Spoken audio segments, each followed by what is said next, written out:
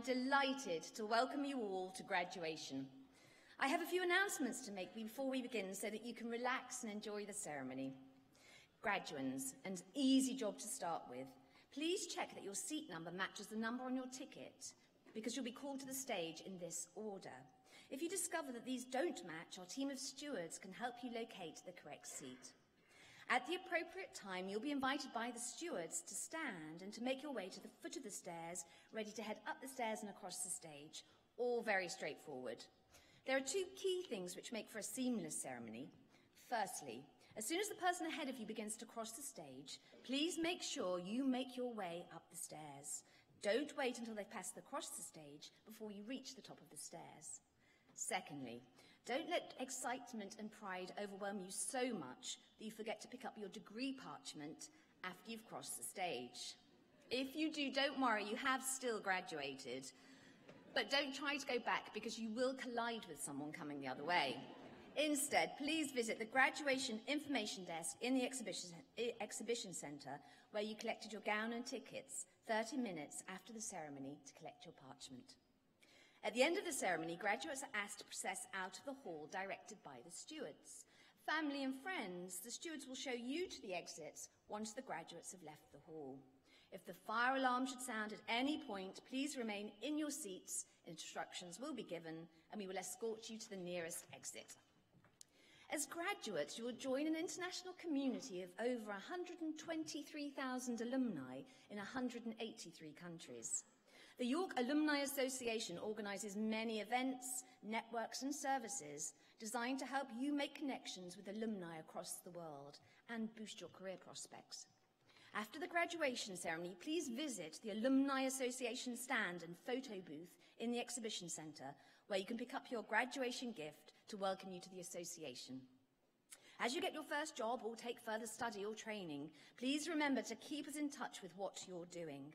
Understanding the career paths that you take will help us provide the right support for current students and make sure we offer graduates like you relevant information and opportunities.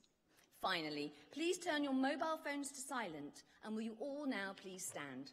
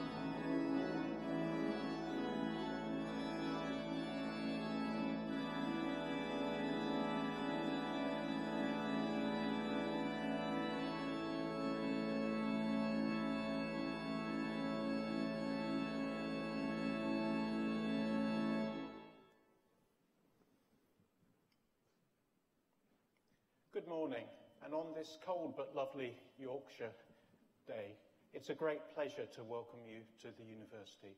Please be seated.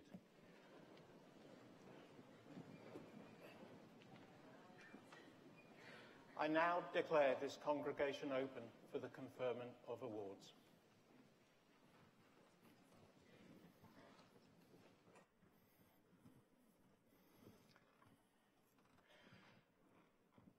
So, again, good morning and welcome to this very exciting day, which is a special milestone in your lives.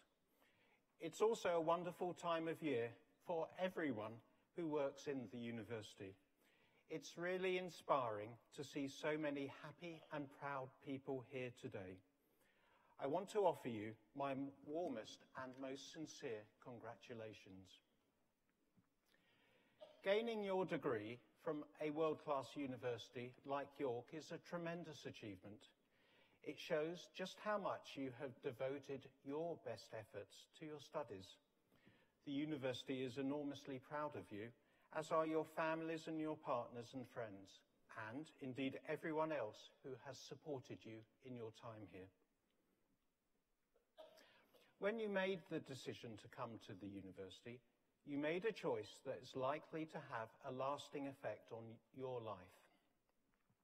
As I'm sure you know, there are many reasons why people decide to go to university. Perhaps you came to York because you wanted to prepare for a career in a specific field, or to improve your employment prospects. Perhaps you came because you were passionate about your subject.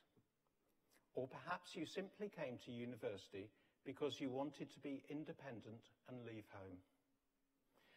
Whatever the reasons, we hope you achieved your personal aims and ambitions. In recent years, the public discourse around higher education has moved to being universities as drivers of economic growth and the role of higher education in delivering productive workforces. Whereas such constructs are undoubtedly important, we should not lose sight of the much wider relevance of higher education for society. Education is a common good that benefits us all in ways that may be difficult to measure, but are certainly no less important. Education enables societies to work together, to build together, to live peacefully together. Education protects us from extremism, intolerance, and prejudice. Fundamentally, education makes us all better people. I hope that you use your new skills to the benefit of people and societies worldwide. Now, I hope you've enjoyed your time at the university, which I'm sure was not all spent on hard work and intellectual contemplation. I have seen and heard you having a wonderful time in your colleges and indeed in the city. And I'm, of course, also aware, albeit in part, on what goes on through social media. Instagram holds few secrets. And you know what all of this says about you? It shows that you are, on the whole, a lively, sociable, and caring group of people with a great zest for life. And so it should be being at university is about much more than study and work. During your time with us, you will have met people who will hopefully remain friends for the rest of your life. You will have joined student societies or explored new interests. You will have experienced life in a community that is diverse and truly international. I think you'll find that these experiences have been just as valuable as any formal learning in shaping who you are and what you can become. Since 1963, we have inspired over 130,000 people to cross both this platform and continents and to embrace almost every imaginable job and profession. Now it's your turn to go out and explore new horizons. As soon to be graduates, you are now part of our worldwide community of alumni, with members from 183 countries in the world. Our global A to Z directory ranges from Afghanistan to Zimbabwe. I hope that you'll be able to join us at events across the globe and to support many of our important activities.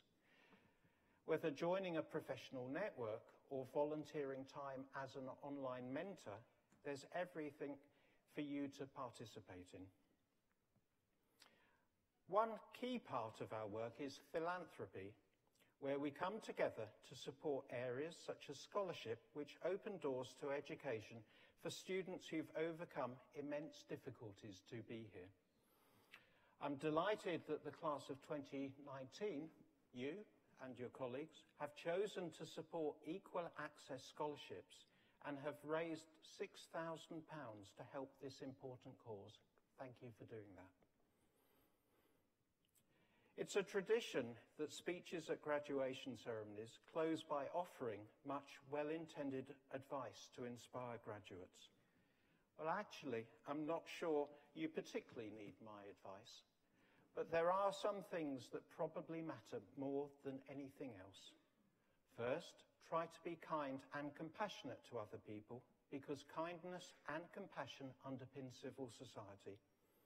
Second, never forget that the world is a very interesting place. Never stop questioning and trying to understand it better. Third, make sure you enjoy whatever you do and have the courage to change direction if you don't. And finally, be lucky, but remember that Louis Pasteur said that chance favours only the prepared mind. So for now, I wish you all well Make us proud and, above all, always strive to be the best you can. And being your graduates, I'm sure you'll also have a great time along the way. Many congratulations and good luck for your future. Thank you very much.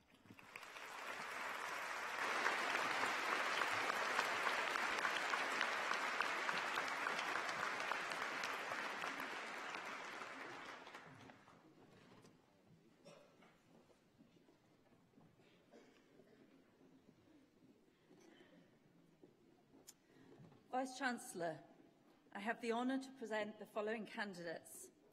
For the degree of Doctor of Philosophy in Archaeology, for research in the proteomic and isotopic analysis of parchment, Sean Paul Doherty.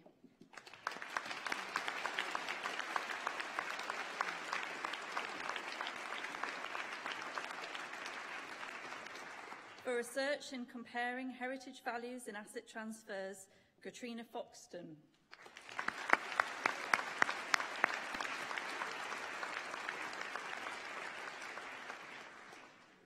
Research in the rock art landscapes of Rombalds Moor, Vivian Deacon.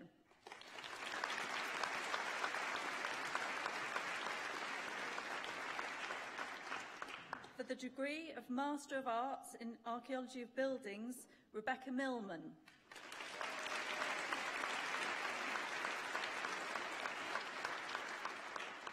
Richard Powger.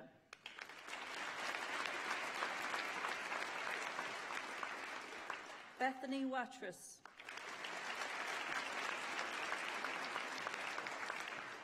For the degree of Master of Arts in Conservation Studies, J. John Yang, Jack Chan.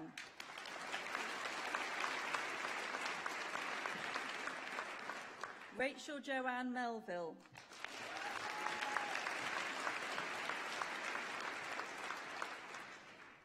For the degree of Master of Arts in Conservation Studies, Historic Buildings, Paula Bubitska.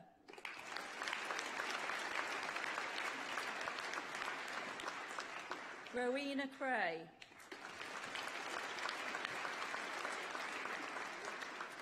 Irini Christina Dimaruki.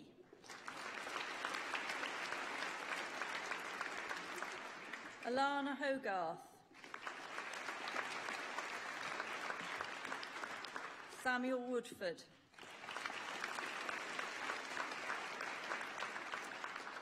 For the degree of Master of Arts in Cultural Heritage Management, Lucy Ainsley. Christopher Berryman. Sarah Bottomley. Bethany Rose Cadell. Blaise Catley. Jesse Clark. Vivian Cooling. Rachel Edwards. Katrina Gargett. Anne-Marie Hoyk. Charlotte Hughes. Jacqueline Jansen Van Dorn. Janet Jones. Darcy Lloyd. Anna Martelli. Joanna Meredith. Akane Nakamura. Megan O'Mara.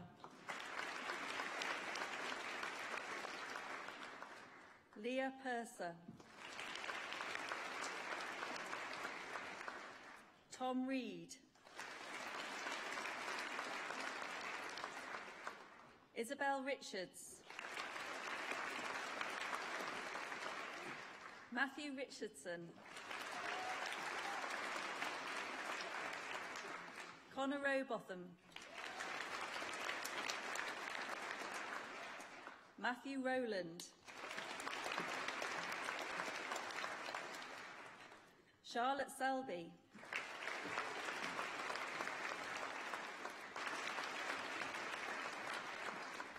Ellie Tom, Rina Sugiguchi. Hannah Thompson. Emma Wake.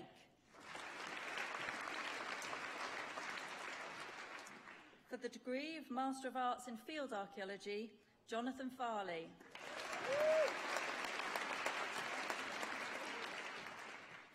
The degree of Master of Arts in Funerary Archaeology, Daniel Boothby. Kate Brooks. Roisin Downing.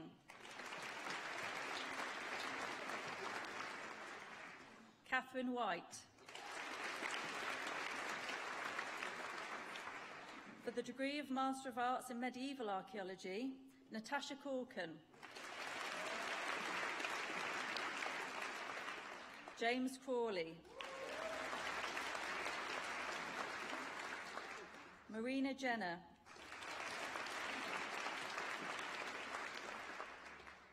James Osborne.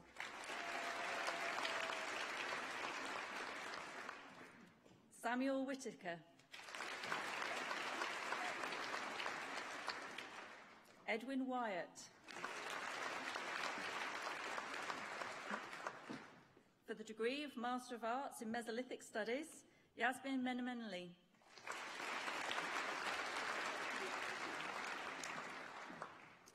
Bethany Nash.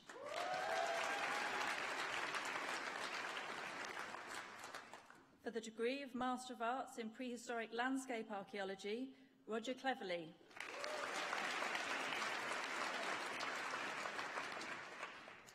The degree of Master of Science in Bioarchaeology, Lucy Ather.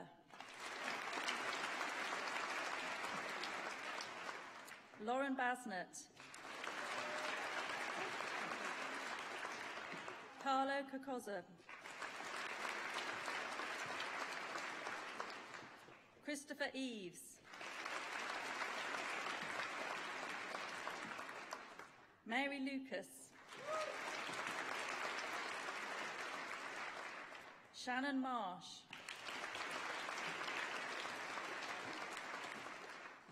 Catherine McCraith. Javier Montalvo Cabrera.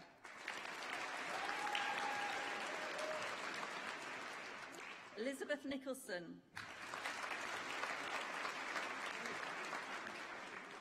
ID Sue.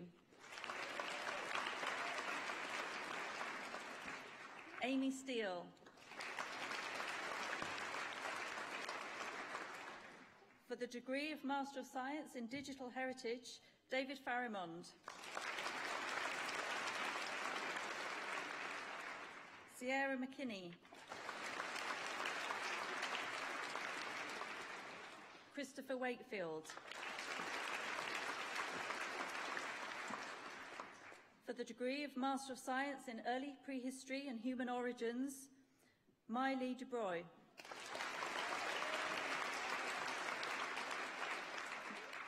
Isabel Wisher.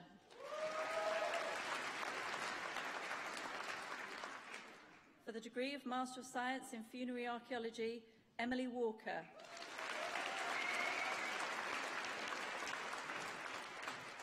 For the degree of Master of Science in Zoo Archaeology, Kimberly Hosking.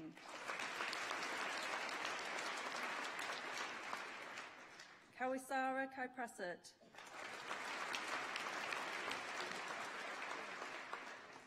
Riley Ray Lembo.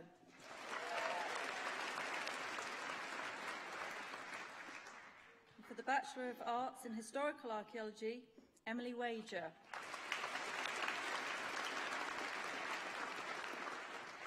For the degree of Bachelor of Arts, Matthew Perot.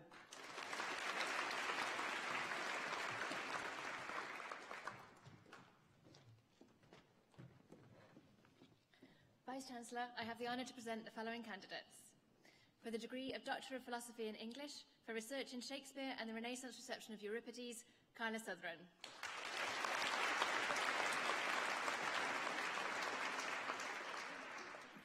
For research in census and spaces and First World War medical care narratives, Marie Allett.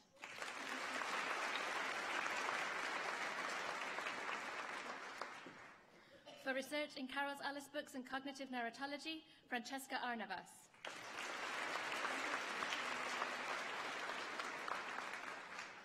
For research in Ann Radcliffe's post-1797 works, Elizabeth Bobbitt.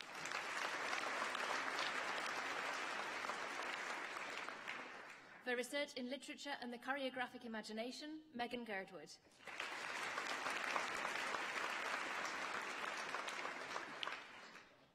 For research in the narrative integrity of fiction autobiography, Yu Hua Yen.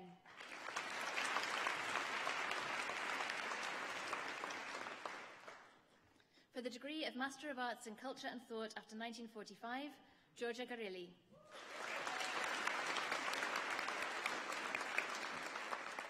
James Hakney. Chelsea Hayes. Sienna Holmes.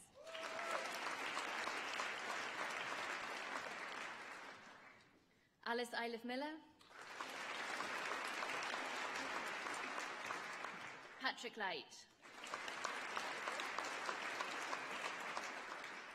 Freya McCreary.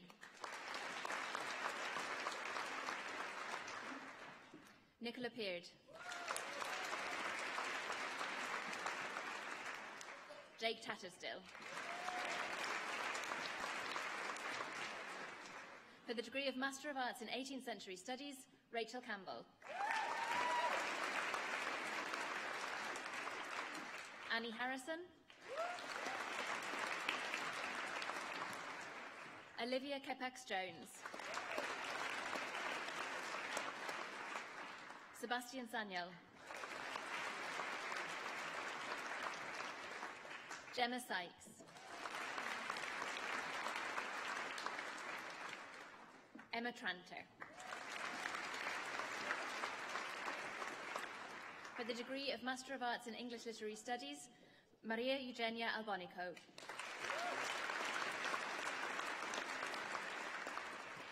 Jocelyn Bates. Carolina Elisis. Brantley Fraser. Sophie Jackson.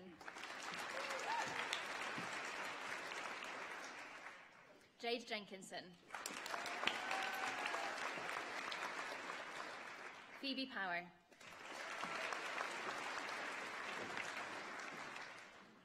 Jake Richardson.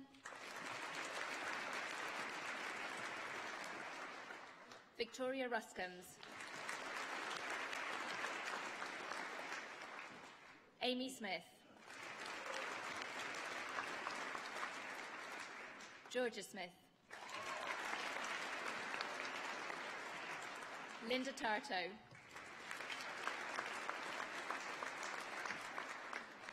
For the degree of Master of Arts in Film and Literature, Ewan Brooke.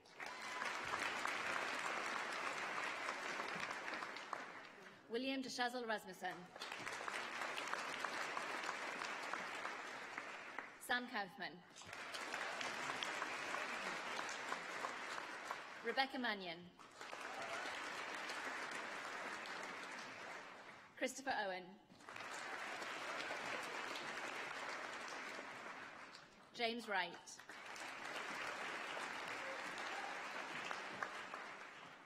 For the degree of Master of Arts in Global Literature and Culture, Cheryl Rome.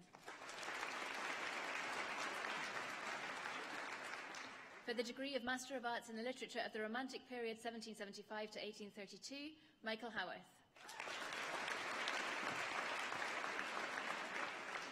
Mary Comness.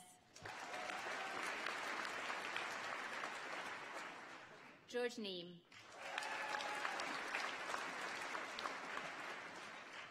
For the degree of Master of Arts in Medieval Literatures and Languages, Kaylee Fletcher. Bo Kyung Kim. William McLean Smith. Rachel Patterson.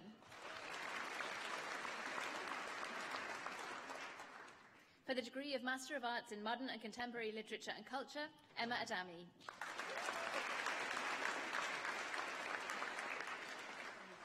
Anka Carter Timoft.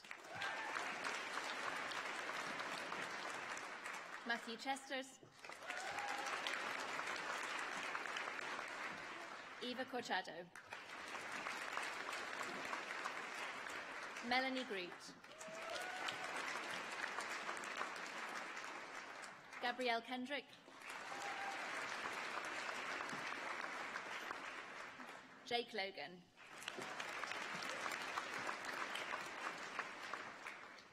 Benjamin Meyer.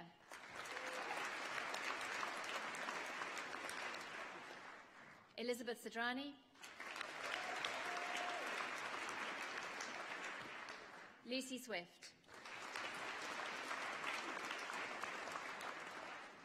Aaron Tegelman. Vlad Toma.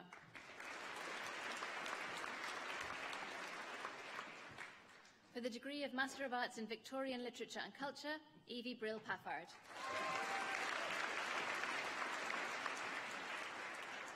For the degree of Bachelor of Arts in English, Kaylee Butler.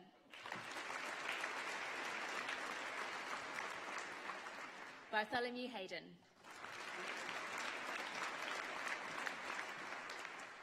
Colette Holdsworth. Rory Kelly.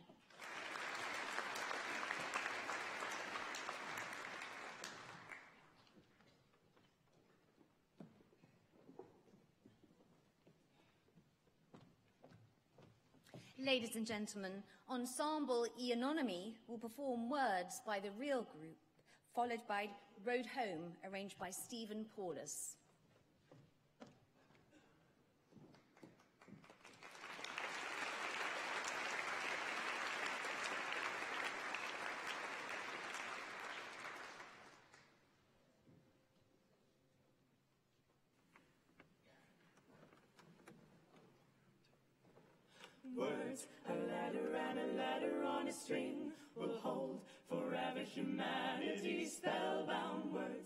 procession of the beggar and the king.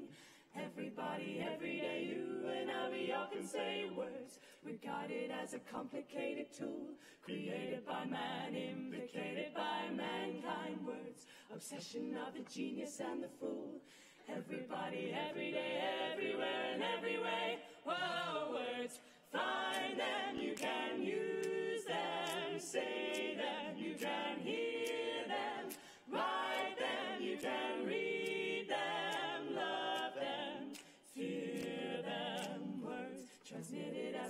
it from the start. Received by all, I'm rare, sentenced to a life with words. Impression of the stupid and the smart. Everybody, every day, you and I, we all can say words. Inside your head can come alive as they're said softly, loudly, modestly, or proudly. Words, impression by the living and the dead. Everybody, every day, everywhere and every way. Oh, words, find them, you can use say them, you can hear them.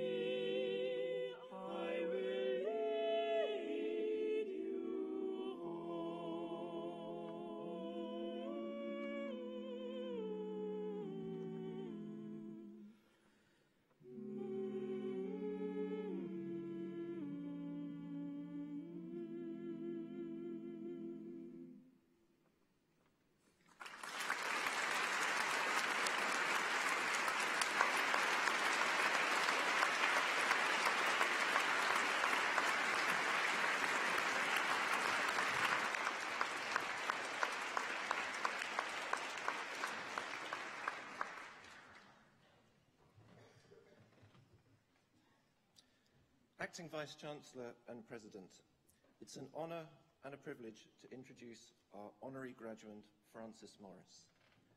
Since 2016, Frances has been Director of Tate Modern, Britain's gallery of international modern art and one of the world's most significant and influential museums.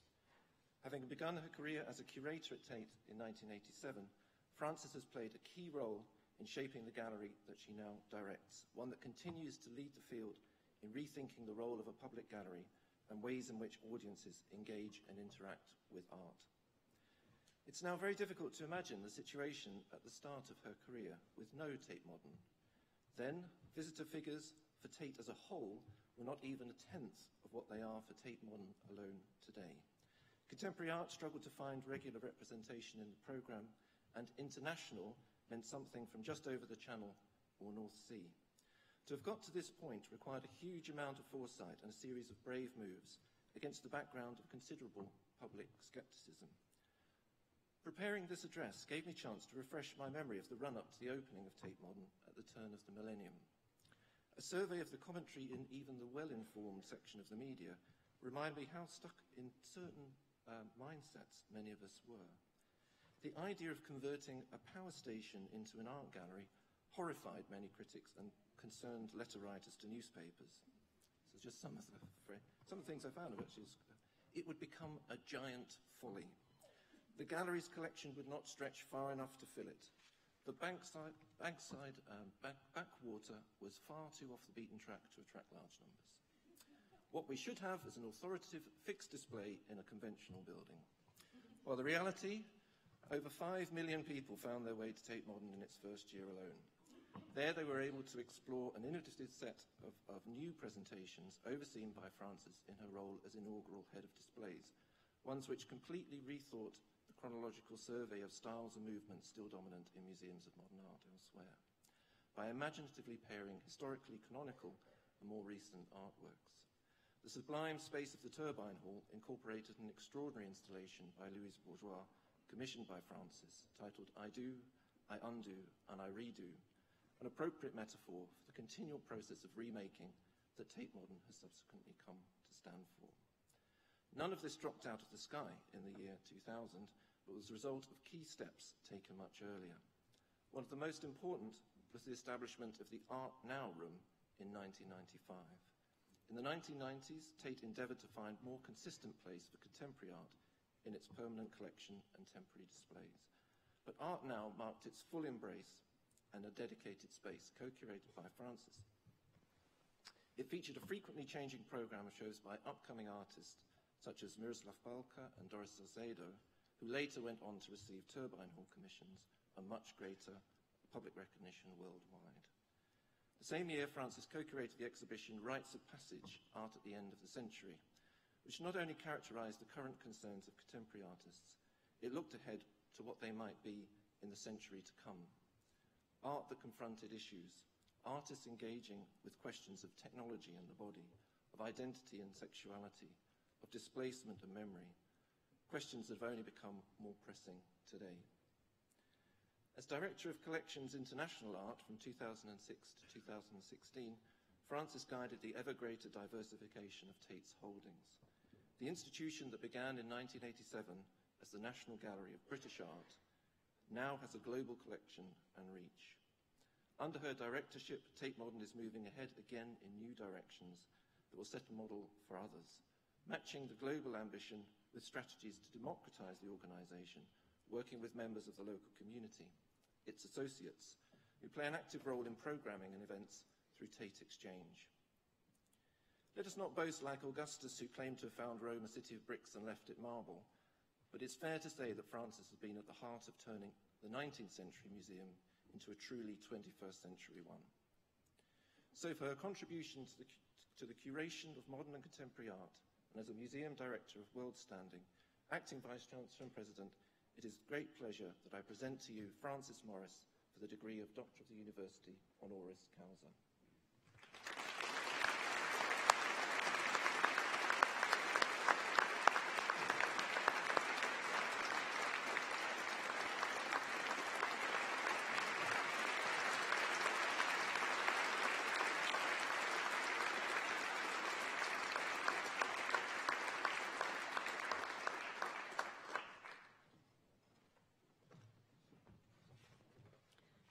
Absolutely splendid.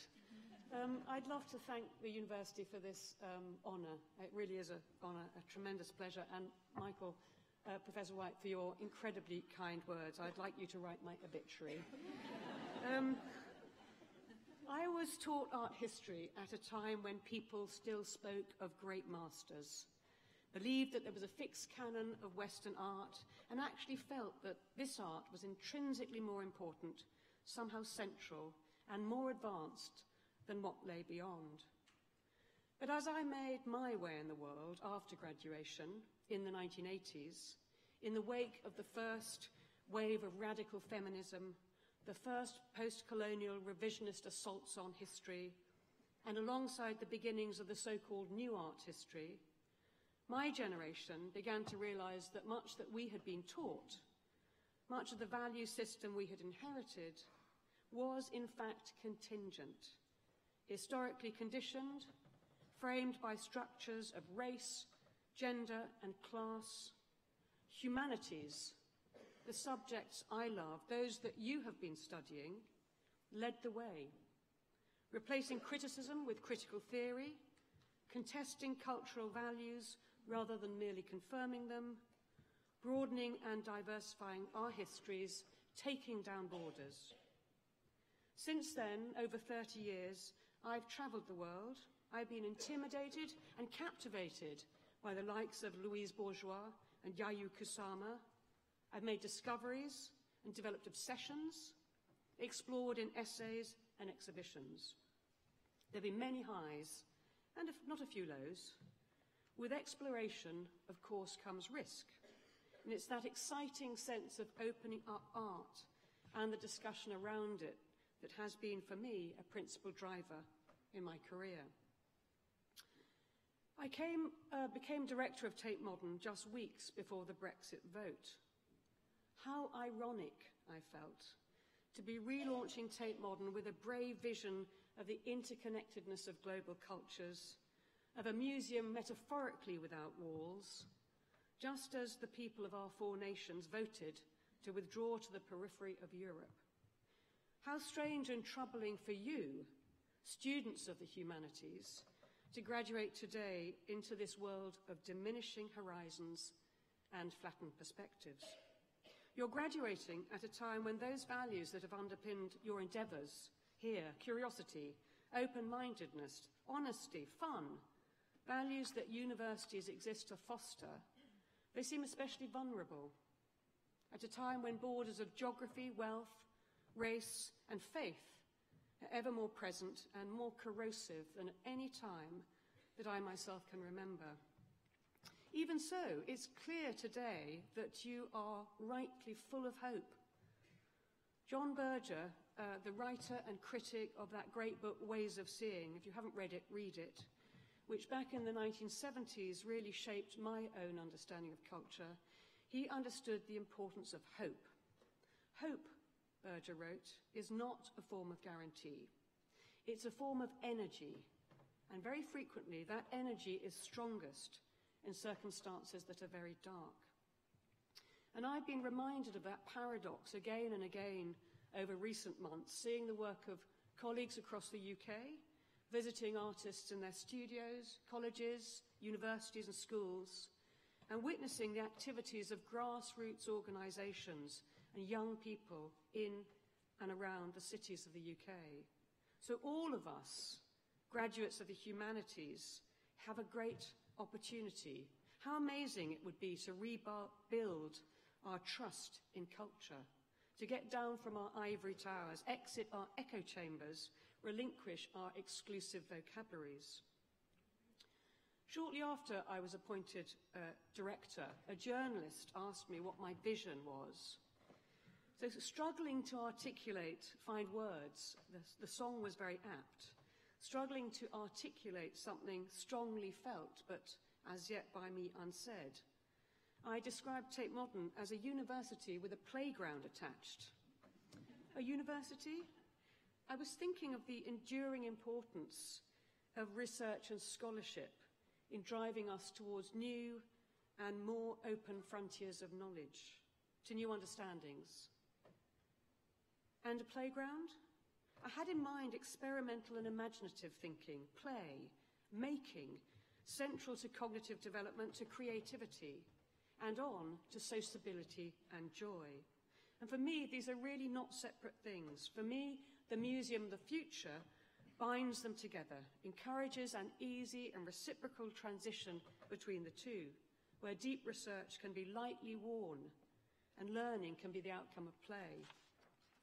So, if all of you have spent years here in the university finding your voice, now you have to go into the playground to grow it, refine it, and use it, while allowing others their voice. And this is key listening.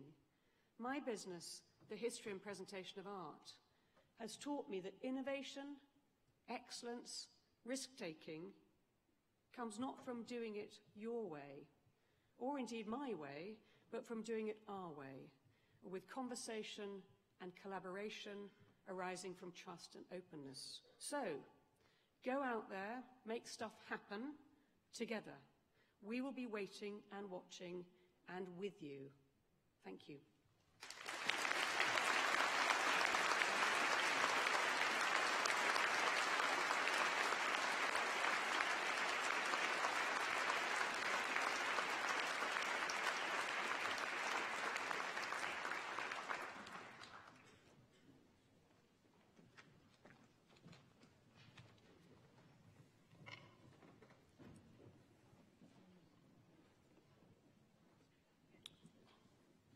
Vice-Chancellor, I have the honour to present the following candidates for the degree of Doctor of Philosophy in History.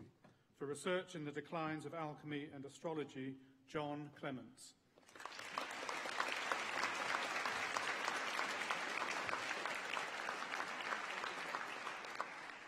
For research in maternal and child health and decolonising Fiji, Sarah Claire Hartley.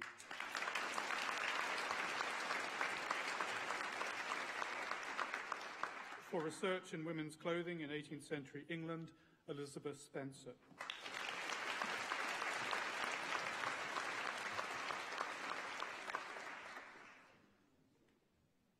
For research in international health, development, medical mission, Benjamin Walker.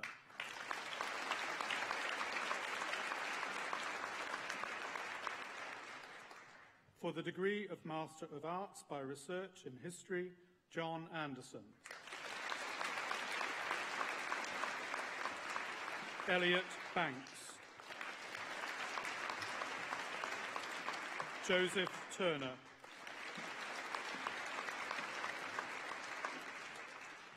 For the degree of Master of Arts in Contemporary History and International Politics, Catherine Alsop.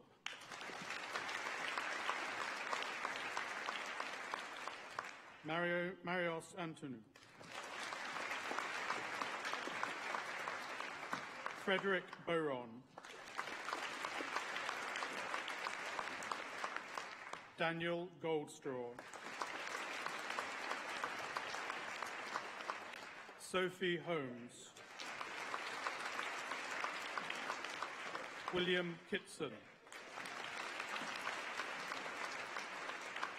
Eleanor Knight. Mingyun Lee. Jake Louth. Yu Yang Lu.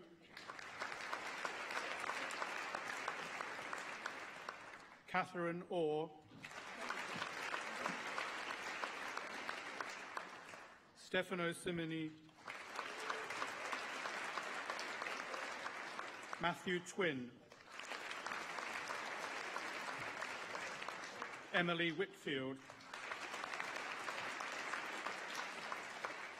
For the degree of Master of Arts in Early Modern History, Chloe Adams. Jessica Ayres. Erica Felipe.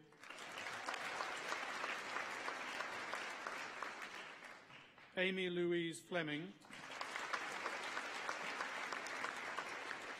Sarah Holliday. Ria Hughes, Harry Morris, Adrian Salomon, Anna Turnham, Eleanor Watson,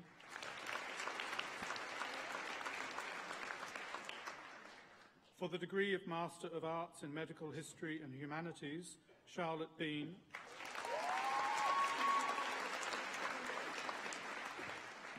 Sarah Birch Ares.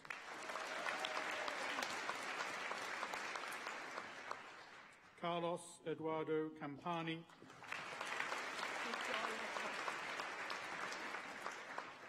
Daria Hartman. For the degree of Master of Arts in Medieval History, Ariane Louise Beardshaw. Hanwan Chen. Christopher Dickinson. Tracy Hall. Sarah Maloney.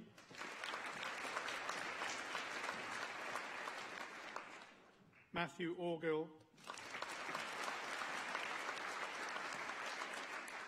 Bethan Owen.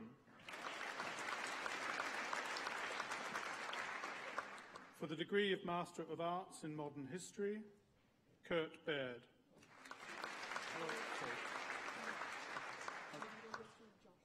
Okay. Correction. Degree of Master of Arts in Medieval History, Joshua Poole.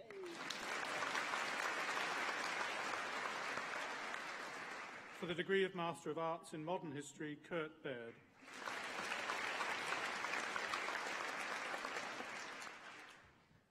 James Baker.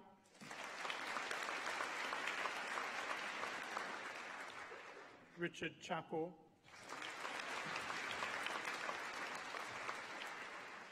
Jared Durrance.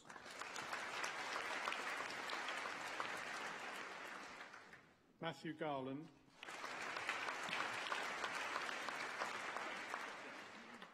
Matthew Haig. Toby Mings.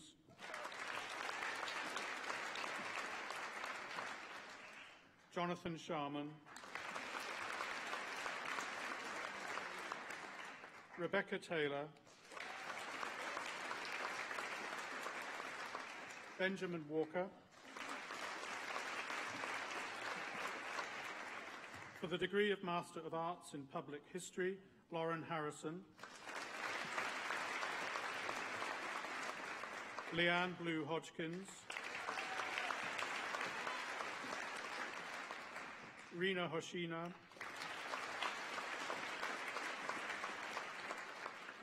Kyla Hislop. Georgina Kimberley. Daniel Knight.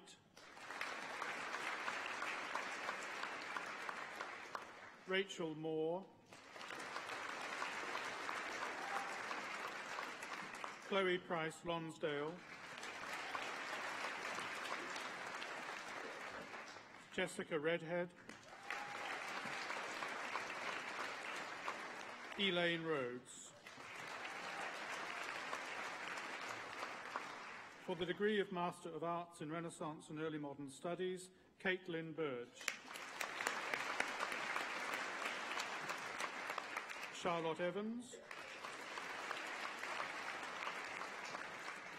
Anastasia Ilsefidou. and Andrea Paquin.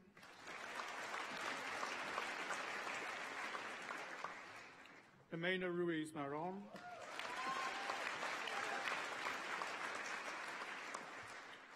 For the degree of Bachelor of Arts in History, Louise Brohan.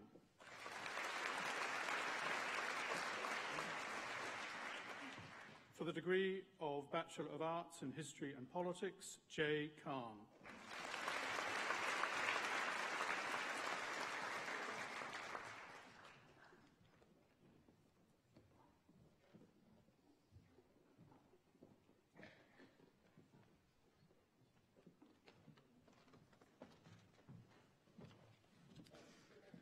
Vice Chancellor, I have the honour to present the following candidates. For the degree of Doctor of Philosophy in History of Art, for research in visualising AIDS, Ilaria Grando.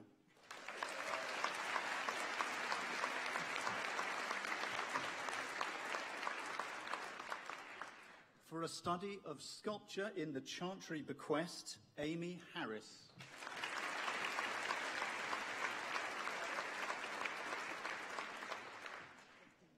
For research in York Minster's Chapter House and its painted glass, Hilary Moxon.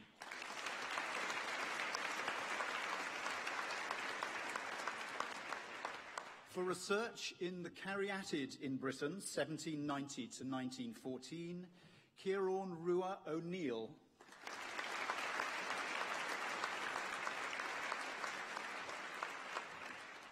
For research in funerary sculpture in the Spanish Restoration, Chloe Sharp.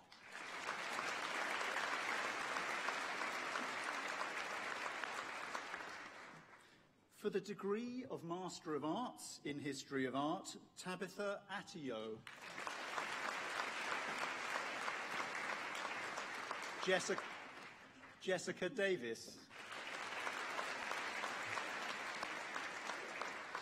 Zorcha Dean. Suzanne Forty. Susanna, Susanna Galbraith. Charlotte Hone.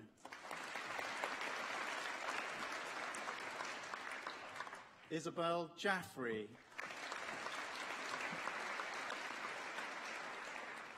Megan Corrie.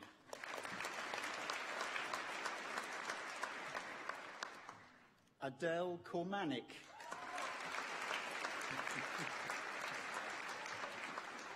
Barbara Lodge.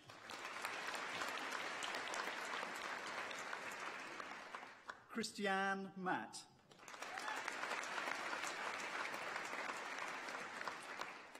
Kristin Neubauer.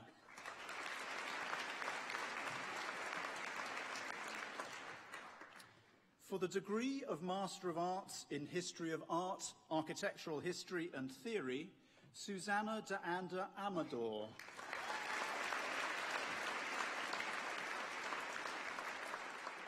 Rosa Hansel.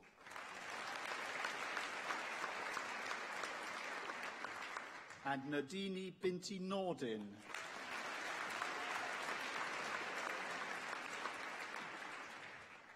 For the degree of Master of Arts in History of Art, British Art, Samantha Scott.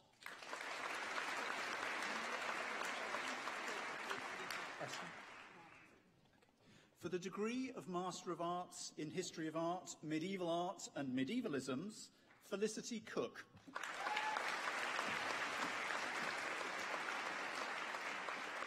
Lily Lily Seach.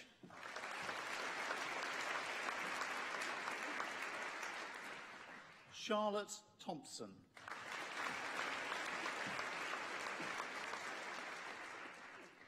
For the degree of Master of Arts in History of Art, Modern and Contemporary Art, Francesca Curtis.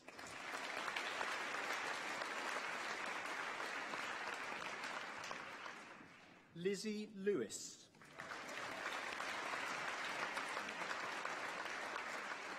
And Katrina Mann.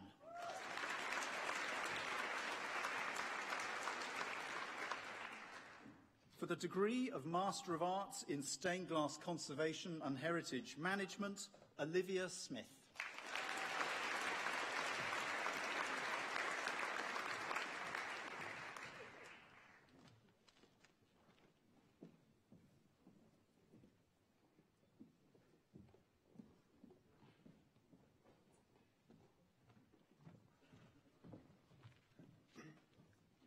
Vice Chancellor, I have the honour to present the following candidates.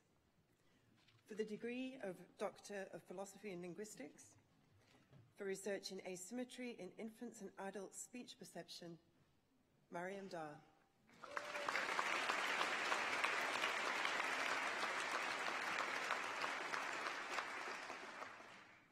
For research in aspects of comparative constructions, Maria Margarita Macri.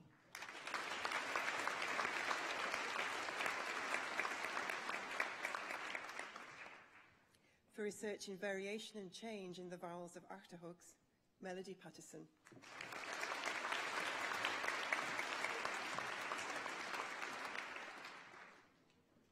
For the degree of Master of Arts by Research in Linguistics, Ikali Kostopoulos.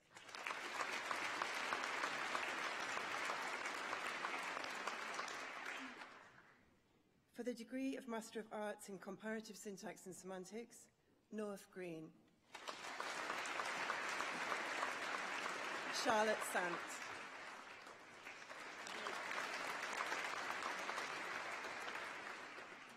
For the degree of Master of Arts in Linguistics, Myrta Bortolotti.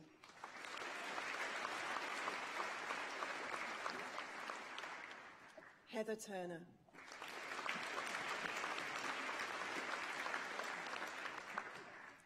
For the degree of Master of Arts in Phonetics and Phonology, Leonie Walter.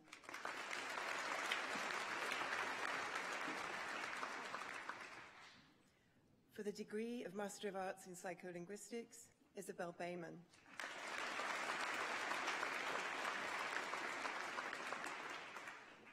Cho Chun Lin.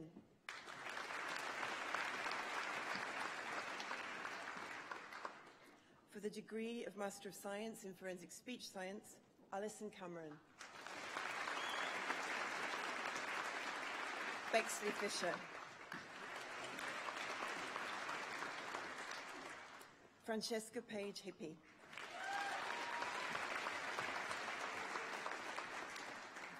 Elliot Land.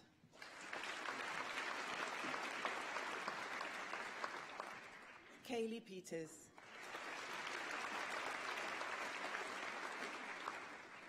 Benjamin Gibb Reed. Alex Stevenson.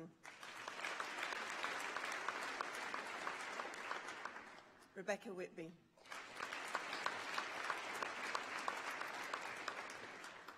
For the degree of postgraduate diploma in forensic speech science, Matthew Turner.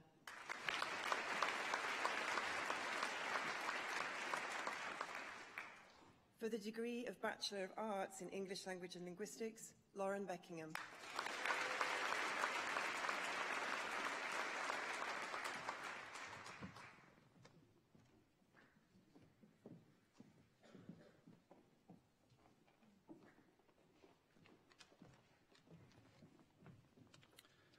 Vice-Chancellor, I have the honour to present the following candidates. For the degree of Master of Arts in Medieval Studies, Maxwell Botherus.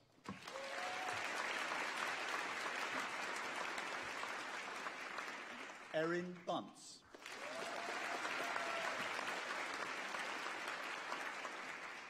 Scarlett Dennett.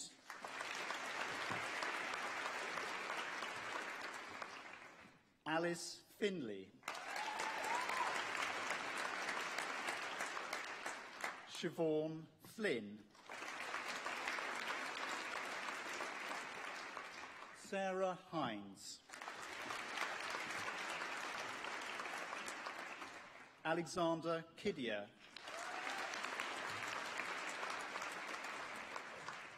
Gabrielle Kramer.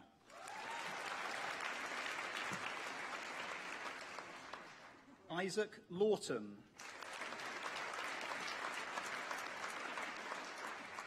Megan MacDonald.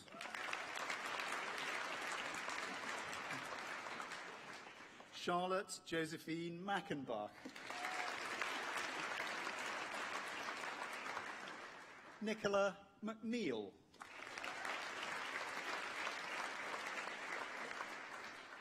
Alison Russell.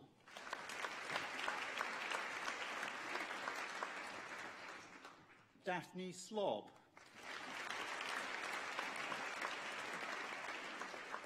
Sophie Spendlove.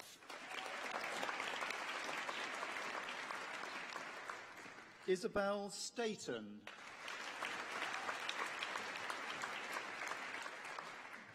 And Claire Walsh.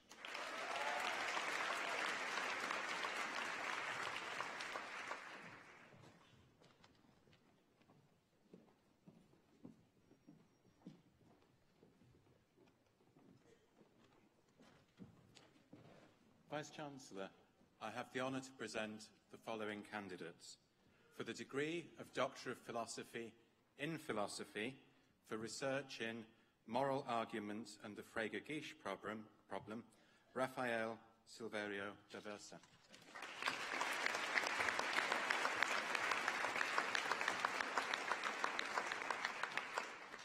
For the degree of Master of Arts by Research in Philosophy, Eleanor Byrne.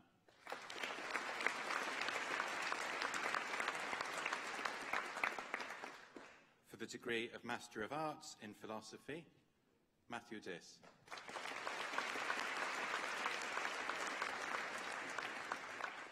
Sean Hamill.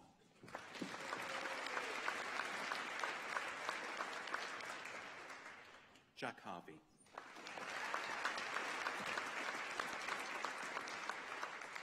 Ed Willems.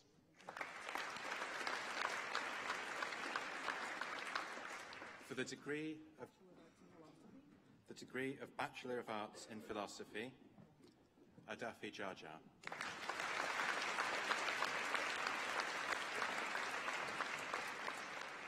Chris White.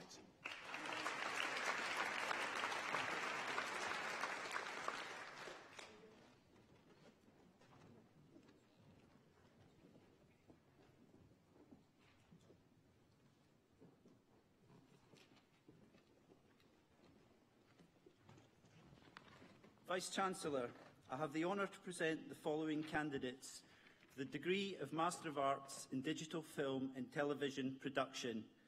Nachiket Burave.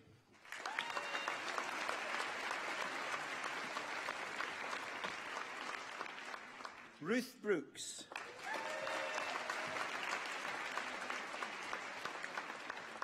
Tsing Hui Sai.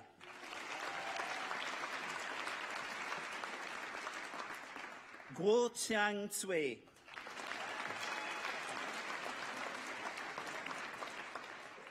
Yui Dai.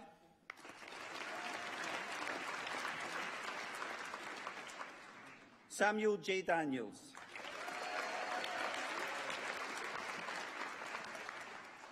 Juan Angel Hernandez Moreno.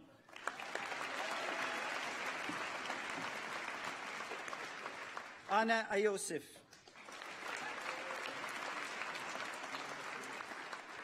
Chen Xi.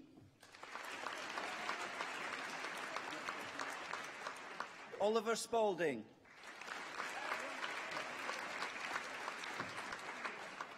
Konstantinos Spanomaridis.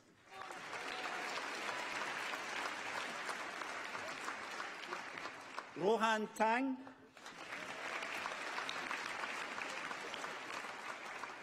Gui Hung Wang.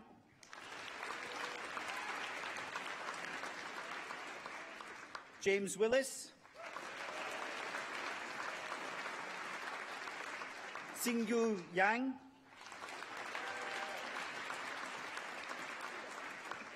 For the degree of Master of Arts in Post-Production with Sound Design, Ruggero Ginzelli.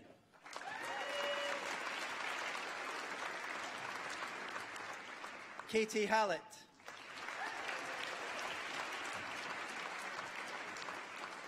Felix Jaeger. Andrew Jones. Natakorn Kyuyamnong. Daniel Lofthouse. Ewan Marshall Atherton. Andrea Michael. Liam Norton. Javier Roreta Estrella.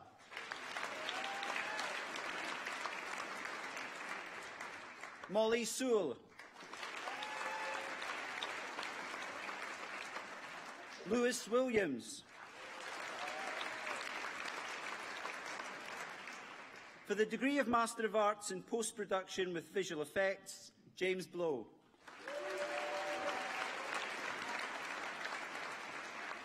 Bianca Casinelli.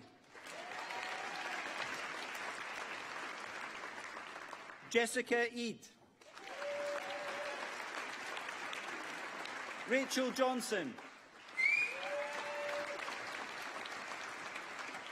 Emma Snadden.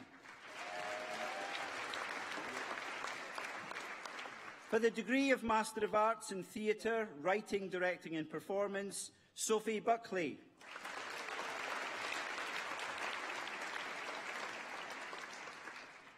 Diogo Gonçalves. Claudia Nather Jaime.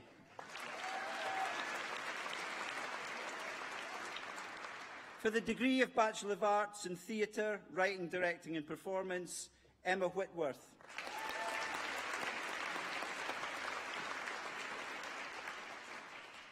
And for the degree of Bachelor of Science in Film and Television Production, Harry Suter.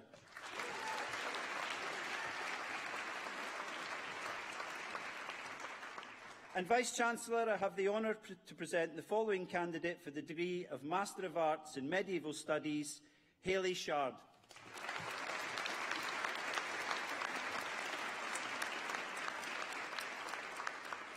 Vice-Chancellor, I also have the honour to present the following candidate for the degree of Master of Arts in History of Art, Esther Corey.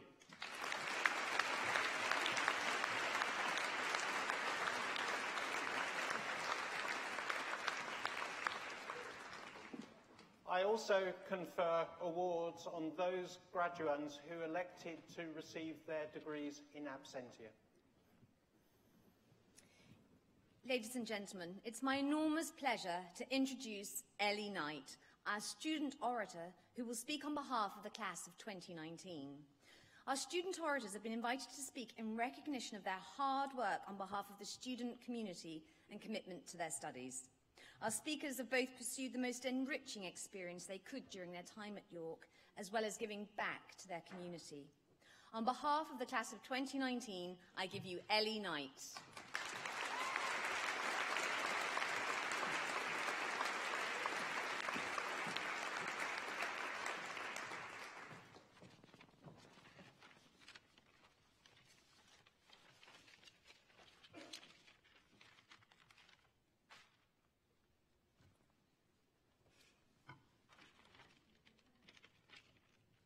When I first arrived at York as a nervous fresher, I was convinced that everyone here was smarter than me, wittier than me, more attractive, and more likeable.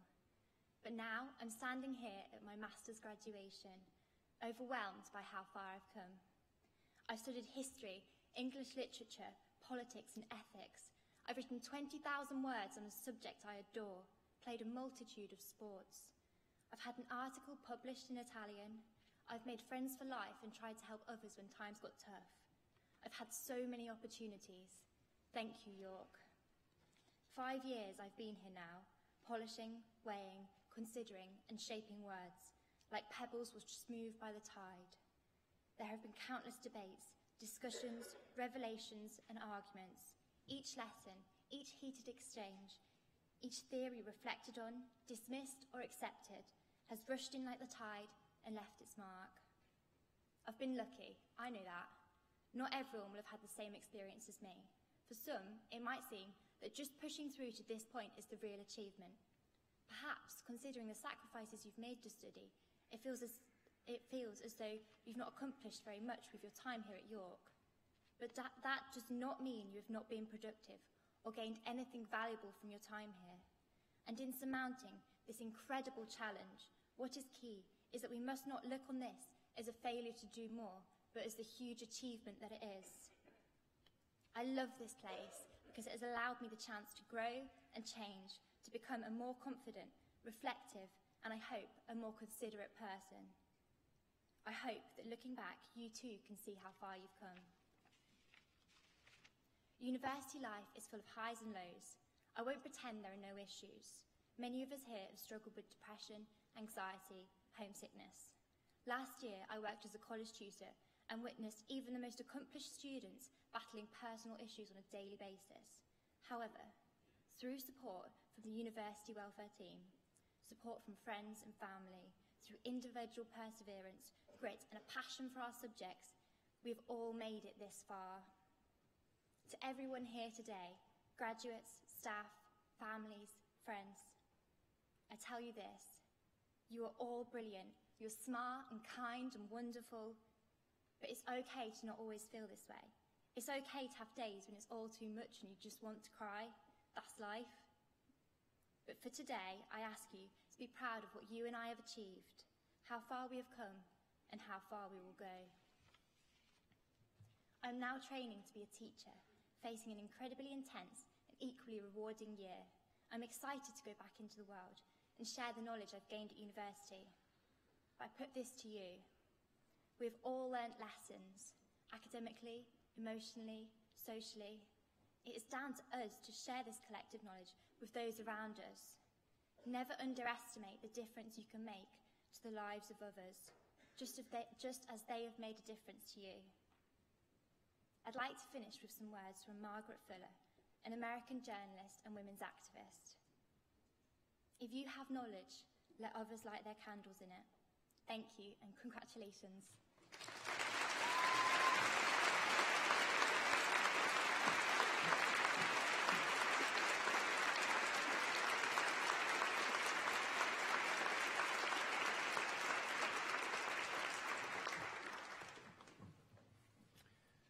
Vice Chancellor, we honour today an artist with a superpower the ability to manipulate time. Fade in. The shots switch back and forth from subway carriage to Manhattan apartment as Michael Fassbender locks eyes in one moment with a woman passenger and then walks naked in another moment from postcoital bedroom to bathroom. A time-bending distillation hopeless sexual addiction to open Steve McQueen's movie, Shame. Cut to a glamorous reception. A Chinese general whispers a secret phrase into Amy Adams' ear before the action switches suddenly to 12 months in the past and a UFO landing site in Montana. Adams is now defying masked guns to phone that same phrase to that same general to save the visiting aliens, to secure the future of the world, and to solve the enigmatic meditation on time present and time past, as they are both perhaps present in time future, that is Denis Villeneuve's movie arrival. These resonant moments of cinema highlight the work of Joe Walker, lauded as the invisible performer in the editing room, fashioner of some of the most enthralling movies of the past decade, whom we honour today. Joe once described his cutting style as seeking to realise on screen our experience of life by adding variety and landscape to the moments you want to dwell on. I would venture to suggest that Joe's distinctive approach to film structure, provocative time play, manipulation of tempo, rhythmic intercutting owes much to this place. Joe graduated from York's Department of Music in 1984. And it was music as a discipline and musicality as an instinct that launched Joe's career. He won a place on the BBC's assistant film editing course in 1986 and quickly earned a reputation for working with sound which has continued to this day. He composed scores for BBC Arts documentaries, which were performed impressively by the Royal Philharmonic in Trafalgar Square. He wrote music for TV movies and documentaries. And Joe's editing is notable for its rhythmic interplay between audio and image. The standoff on the bridge in Denis Villeneuve's thriller Sicario, where a relentless drumbeat stretches time almost unbearably, before a cacophonous eruption of gunshots and, and split-second picture cuts. Steve McQueen, meanwhile, described Joe as attuned to the silences. They can be just as valuable as words. From the mid-90s, starting with the BBC police series Out of the Blue, Joe began knotting up an impressive credit list. High-profile TV dramas like Jimmy McGovern's Outstanding the Lakes in 1999, Dr. Zhivago, starring Keira Knightley in 2002, and then features. 2004's Tabloid, with the influential Scottish director David Blair, Harry Brown, starring Michael Caine in 2009, Brighton Rock, 2010. And in 2011, Joe masterminded what is truly one of the great instances of editing mind over matter.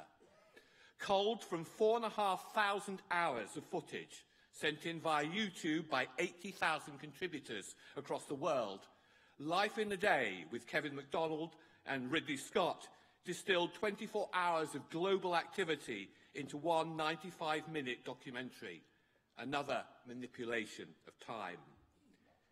But it is Joe's collaboration with two directors in particular that has delivered perhaps his signature work. First, Steve McQueen.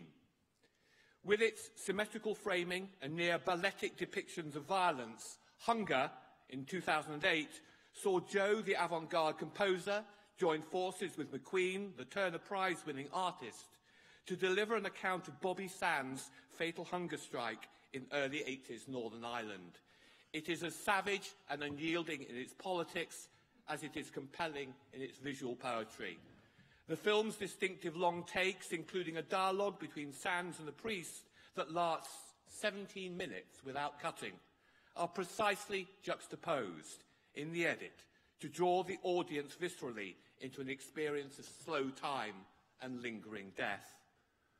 Walker and McQueen's next two collaborations are similarly meditative. Shame, and then, of course, the Oscar-winning 12 Years a Slave in 2013. Only in their most recent, amid the twists and temporal turns of the high thriller Widows, has the pace increased, perhaps. Just two long takes, at least by my reckoning. Joe once said that the cinematic experience is at its best when you get to really peer inside the soul.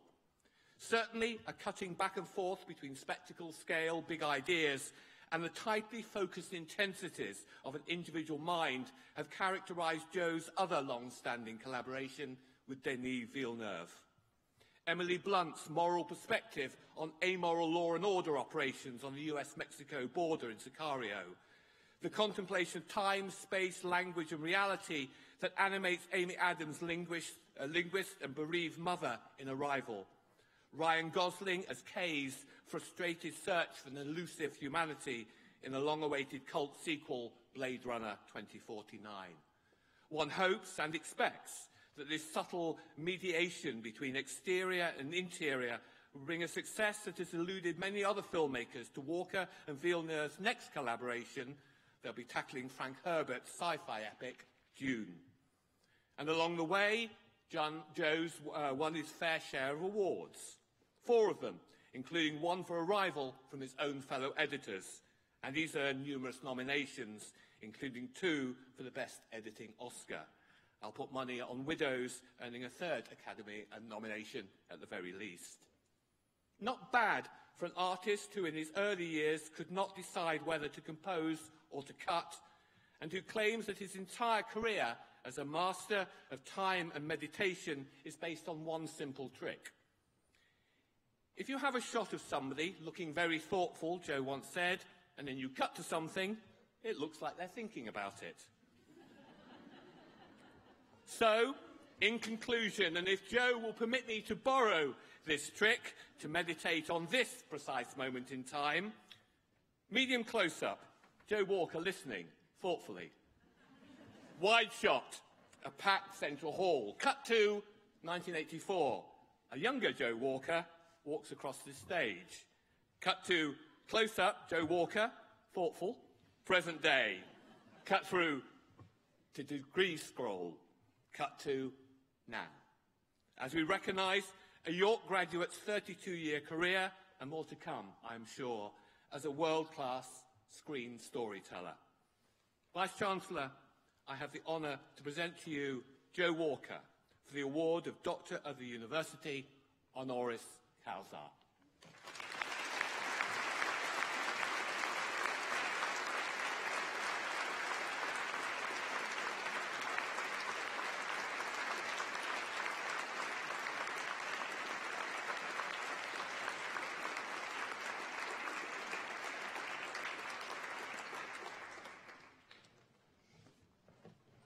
hope I don't stretch time to breaking point in my speech. um, dear graduates, Vice Chancellor, ladies and gentlemen, my thanks to Dr. Braman for that very kind and imaginative profile. My time at, uh, at the music department at York back in the early 1980s had a profound effect on me. I got here on a pretty flimsy set of results from a school where the music department was a dusty cupboard with two Haydn study scores and a tambourine. In contrast, my first encounter at the Sir Jack Lyons Concert Hall was a lavish music theatre piece by Karlheinz Stockhausen called Trans. It's a giant, terrifying orchestral piece um, hidden behind a large violet gauze. You hear brass, woodwind, percussion. Um, they seem to be making the sounds of a thrashing, wounded beast. And a row of string players are seen in the half light, and the amplified sound of a loom crashes from side to side of the auditorium. So to say that this changed my life is a woeful understatement. It really transformed my suburb suburban mindset forever. So yes, I've spent 32 years as a film editor in the film industry, and I'm very proud of that description. It is an industry. Our aim is to communicate wide, and box office is our mojo. But we can still maintain lofty ideals. Stories are good for people. We find meaning. We make sense of the world.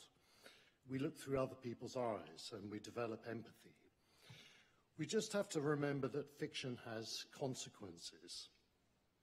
What if, for example, our skills with editing software were devoted to taking a narcissistic serial bankrupt and philanderer and honing a reality show to make him out to be the deal maker of the century, an authority on business, someone almost presidential. That would be regrettable.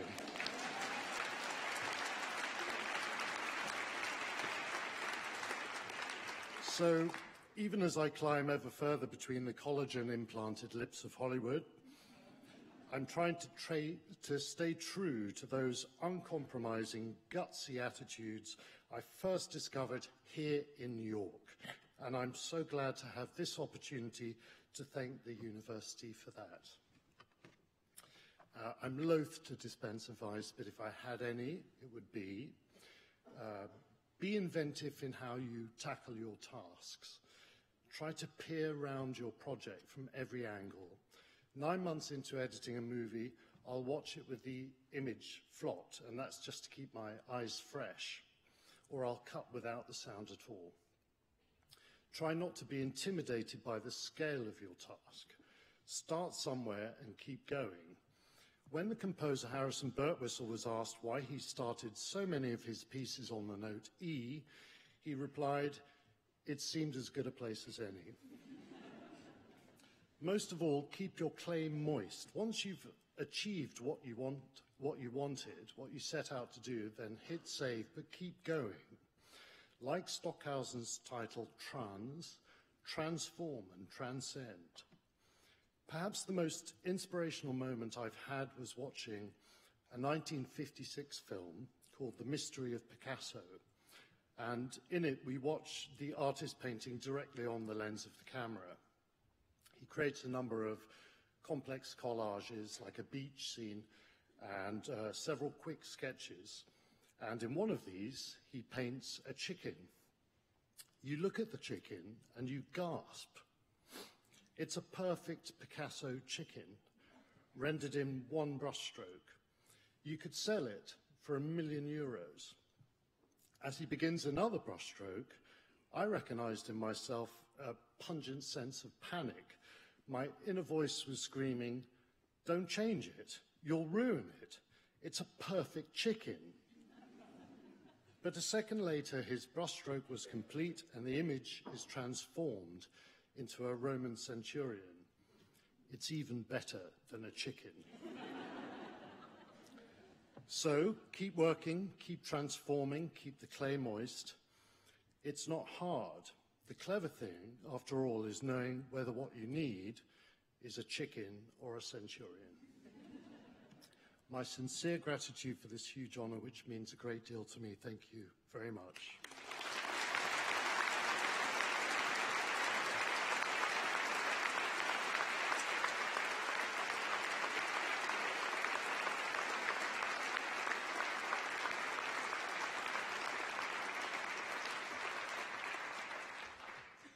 So that's the end of the formal part of the graduation ceremony. We should congratulate Joe and Frances again and congratulate you all. I wonder if I could ask our guests, not our graduates, to stand, please.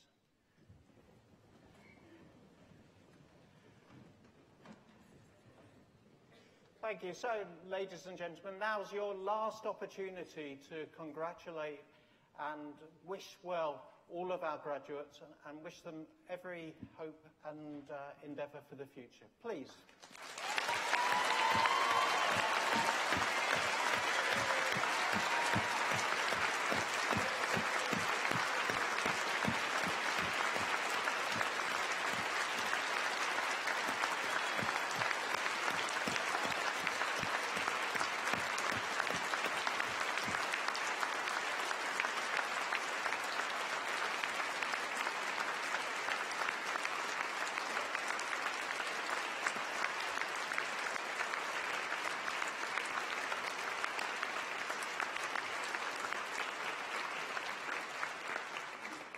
One last task. Can I ask our graduates to now stand?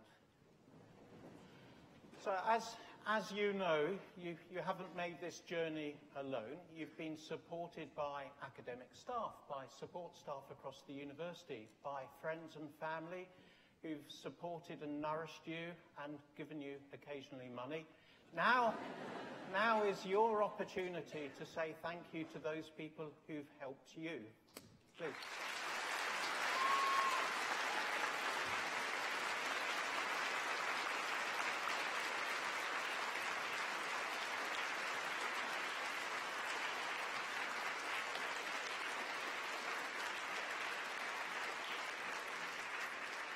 So, thank you all very much. Please remain standing. I now declare this congregation closed.